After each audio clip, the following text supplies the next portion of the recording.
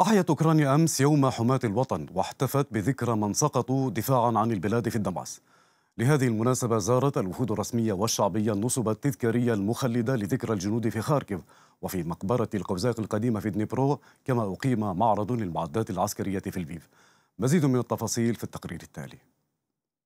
تجمع أقارب ورفاق الجنود الذين سقطوا في شرق أوكرانيا بالقرب من نصب الجدار التذكاري في خاركيف حيث أضيف إلى القائمة 16 نصبا تذكاريا جديدا ومن ضمنهم نصب لتخليد ذكرى متطوعة خاركيف الشهيرة يانا تشيرفونا ضابطة الاستخبارات البالغة من العمر 21 عاما وبطل أوكرانيا سيرهي ميخالتشوك.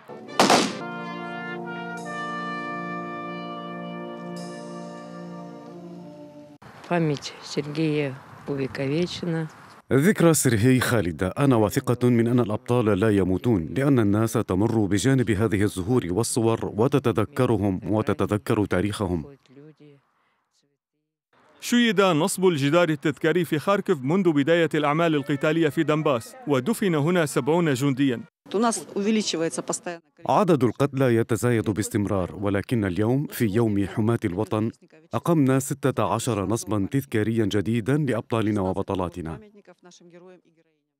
في الفيف افتتح معرض في الهواء الطلق للمعدات العسكرية. عرضت فيه أكثر من 12 سيارة تابعة للقوات الخاصة في الحرس الوطني الأوكراني.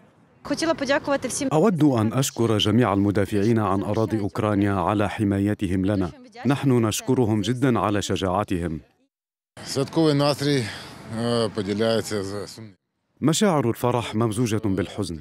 أنا مسرور للقاء أصدقائي من الجنود الذين حاربت معهم كتفا بكتف دفاعا عن أوكرانيا. وحزين لأن هناك العديد من الأصدقاء العديد من الجنود الذين قتلوا في الحرب. بدأ الاحتفال بيوم حماة الوطن في دنيبرو في مقبرة القزاق القديمة حيث قام ناشطون محليون بنصب صليب كبير. الصليب المرتفع هو رمز لأوكرانيا الصاعدة رمز للإيمان القوي. أكوام القش التي تراها هنا هي رمز للأشخاص الذين ضحوا بحياتهم من أجل مجد أوكرانيا. كل قشة منها ترمز إلى شخص فقد سقط عدد كبير من الناس من أجل حرية واستقلال أوكرانيا. بجانب الصليب وضع النشطاء حزما من القش ونصبوا مرايا ترمز إلى ميل شواهد القبور من حين لآخر من الضروري استعادة ذاكرتنا التاريخية وهويتنا الأوكرانية. المنظمون يرغبون في لفت الانتباه إلى الأماكن الأوكرانية الفريدة والتي تختفي بمرور الوقت ويحلمون أن يزور كثير من السياح هذا النصب التذكاري التاريخي ذا الأهمية الوطنية.